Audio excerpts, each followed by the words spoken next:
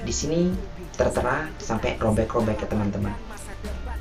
Apa pun mereka bilang Tekadku takkan hilang.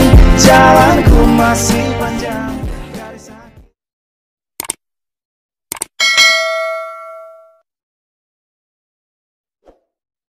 Welcome back, what's up untuk Musang Pemburu Mimpi. Kali ini kita bertemu lagi di hari yang fitri ini. Sebelumnya saya pribadi dan atas nama keluarga besar saya mengucapkan minal aizin wal faizin mohon maaf lahir dan batin. Dan di kesempatan kali ini banyak teman-teman yang nanya kenapa sih kok selalu membagi tentang mimpi tentang motivasi? Justru itu yang saya ajarkan dan saya ingin menceritakan tentang kepada teman-teman. Mungkin kita tahu orang itu hidup tanpa sebuah mimpi atau sebuah harapan atau bahkan sebuah target. You are be nothing in the next time.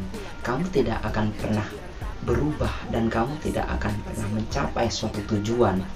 Justru saya mengajarkan sama kalian itu untuk berani bermimpi. Berperbanyaklah untuk bermimpi dan keajaiban itu tidak akan pernah tahu apa yang akan Tuhan berikan kepada kita yang sudah punya harapan. Teman-teman, saya akan mengupas dan menceritakan tentang sebuah mimpi saya. Satu persatu saya di sini akan kupas. Saya mengharap sama teman-teman untuk selalu dukung tentang channel ini supaya bisa lebih semangat untuk saya. Saya mungkin sekitar lima tahun yang lalu saya pernah belajar di suatu pendidikan di mana guru itu mengajari dan menyuruh sama murid-muridnya termasuk saya untuk mengambil suatu kertas dan menulis semua impiannya, impian apa yang akan kita wujudkan dan impian apa yang sebenarnya kita harapkan. Kertas kecil yang berisi tentang impian saya. Di sini tertera sampai robek-robek ke teman-teman. Tertera Nasir, Banyuwangi. Kertas ini saya tulis 18 Mei 2014 impian pertama saya itu terbesar saya adalah yang berbunyi will be the success man. Go around this saya ingin menjadi orang yang sukses.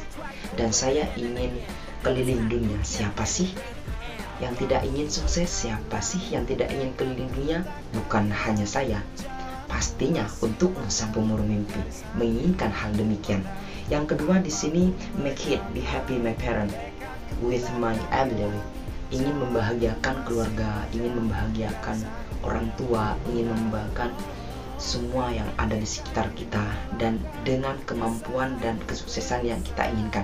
Itulah tujuan saya dan pastinya untuk sang pemburu mimpi.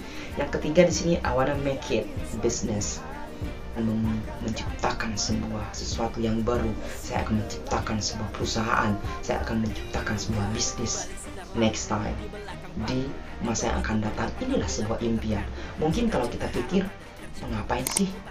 Ngapain sih kita banyak tentang impian? Ngapain kita berambisi uh, atau halusinasi? Justru itu yang harus kita lakukan. Karena tidak ada perubahan kalau kita tidak berani untuk bermimpi. Pepatah lama mengatakan bermimpilah setinggi langit. Kalaupun anda jatuh masih ada bintang masih ada awan yang akan menyelamatkan Anda ketika Anda bermimpi cuma setinggi rumput maka I can say something. Saya tidak akan saya tidak bisa berbicara apa pun. Maka Anda akan nggak punya tujuan lagi teman-teman. Maka bermimpi setinggi langit. Patah itu mengajari kita untuk berani bermimpi karena suatu saat nanti karena masa depan itu tidak bisa tidak ada yang bisa menebak kita sebenarnya siapa dan kita ingin menjadi apa karena untuk menyelamatkan mimpi Anda, untuk menyelamatkan masa depan Anda, dan untuk menyelamatkan masa depan Anda, beranilah bermimpi teman-teman. Moga-moga kali ini saya bisa menginspirasi teman-teman untuk semua mimpi-mimpi ini yang mimpi-mimpi yang telah saya rangkai teman-teman di sini. Dukung terus teman-teman, ayo kita wujudkan bersama. Mungkin kita di hari yang fitrih ini lupakanlah masa lalu. Masa lalu itu hanyalah cerminan untuk membangkitkan semangat kita untuk belajar tentang apa yang sudah menimpa kita di masa lalu. Jangan biarkan masa lalu itu jangan biarkan sesuatu hal yang terjadi di masa lalu itu. Masa lalu kita itu datang kembali kepada kehidupan kita. Rubahlah dari sekarang dan kita berani untuk mewujudkan semua impian kita. Teman-teman saya akan jangan lupa teman-teman saya akan men-sharekan, saya akan menceritakan tentang di sini ada 60 impian saya. Saya akan ceritakan semuanya dan di sini ada perjalanan saya teman-teman. Semua perjalanan saya saya catat dan semua impian saya saya catat di sini teman-teman. Di sini ada sesuatu yang luar biasa teman-teman yang saya ingin sharekan sama teman-teman. Dukung saya terus teman-teman supaya terus berkarya. Mungkin itu saja dari saya.